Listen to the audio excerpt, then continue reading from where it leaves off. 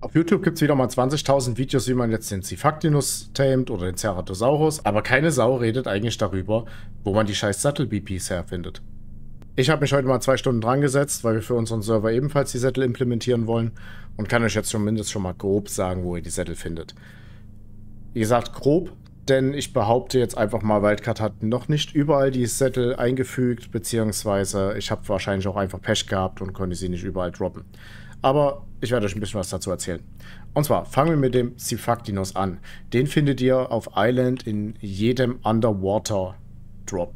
Also in dem roten, in dem gelben und in dem blauen. Für die, die es nebenbei interessiert, im Deep Sea Drop findet ihr ebenfalls den Sifactinus, den Gigantoraptor und den Ceratosaurus. In der roten Ice Cave findet ihr nur den Gigantoraptor, und in den normalen roten Cave Drops findet ihr den Ceratosaurus. Alle anderen, inklusive Scorch Earth, findet ihr gar nichts. Ich habe, wie gesagt, zwei Stunden heute gesucht und ich habe einfach nichts gefunden. Randinfo von dem, was ich nebenbei mal gelesen habe. Angeblich soll man in Treasure Chests ähm, den Ceratosaurus droppen und in gelben Beacon Drops. Kann ich persönlich heute aber nicht bestätigen. Nach über 50 gelbe Beacon Drops und locker an die 100 Treasure Chests habe ich nicht einmal Ceratosaurus bekommen. Also entweder ist die Chance so verdammt gering und ich habe einfach mega Pech gehabt oder es ist einfach wieder dummes Gelaber. Keine Ahnung.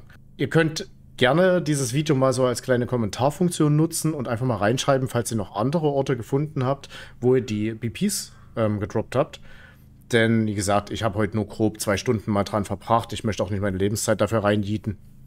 Aber wir können gerne das Video mal so als kleinen Sammelbeitrag nutzen. Ähm, für diejenigen, die den Unterschied zwischen diesen ganzen Cave Drops nicht kennen, ähm, ist relativ schwer zu erklären, die sehen nämlich alle gleich aus, sind aber tatsächlich verschieden ähm, im Spieldesign halt selbst, haben eine komplett andere Loot-Table. Und ähm, deswegen habe ich das hier mal mit Schildern markiert. Also grob kann man sagen, wenn ihr Ceratosaurus Cifactinus wollt, dann solltet ihr einfach nur rote Drops handeln, und zwar unter Wasser. Dann seid ihr auf der sicheren Seite, dass ihr dort ähm, eins von beiden auf jeden Fall irgendwann mal bekommen könnt. Und wenn ihr nur Cifactinus wollt, dann solltet ihr eigentlich einfach nur Underwater Cave laufen. Dort ist die Chance tatsächlich relativ hoch.